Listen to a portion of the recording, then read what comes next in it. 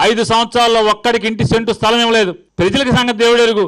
ప్రభుత్వాన్ని ఐదేళ్ళు బండమూత మోశారు. మీకు స్థలాలు ఇస్తామని ఆశ పెట్టాడు. అదే అదే మేము ఫెయిల్యూర్ రేపు ఉగాదికి మేము ఇవ్వబోతున్నాం. ప్రజలకు ఇచ్చేటువంటి స్థలానికంటే డబుల్ స్థలాన్ని మీకు ఇవ్వబోతున్నాం. సెంటున్నర ఇస్తే మీకు సెంటు- మూడు సెంట్లు ఇవ్వాలనుకున్నారు ఈ రాష్ట్ర ప్రభుత్వం. జగన్ గారు. సార్ తొందరగా ఎక్విడిషన్ ఎంత తొందరగా మీరు పూర్తి చేయిస్తే అంటే మేము కూడా ఈ నెంబర్ పడుతున్నాను నేను కూడా. ఎక్విడిషన్ పూర్తాం కానీ వాళ్ళు ఏంటంటే మాకున్నటువంటి అపోహ మీలో చాలామందికి ఉన్న అపోహ.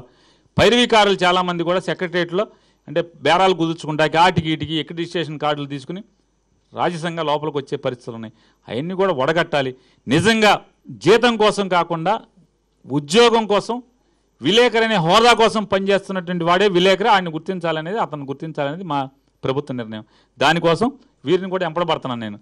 తొందరగా నేను మూడు మళ్ళీ మూడు నెలలు నేను ఎక్రిషన్ ఎక్స్టెన్షన్ ఇవ్వను. మీరు తొందరగా చేయండి అని కూడా ఎంపడబడుతున్నాను. కాబట్టి ఎక్రిషన్ అవ్వగానే వడపోత జరుగుతుంది. ఇందులో తప్పుడు పాసులు ఉన్న వాళ్ళు ఎవరు? నిజంగా వృత్తి కోసం బతికే వాళ్ళు ఎవరు? తేలుతుంది. తెలంగాణ తప్పకుండా నిర్ణయం జరుగుతుంది. ఏదైనా సమస్యని ఏదన్నా విషయాన్ని ఫ్రిడ్జ్లో పెట్టాలి అంటే పాత ప్రభుత్వం. ఏదన్నా విషయాన్ని తగ్గొట్టి ఐదు నిమిషాలు తేల్చేయాలనుకుంటే ఈ ప్రభుత్వం సబ్ కమిటీ కమిటీలు వేస్తుంది.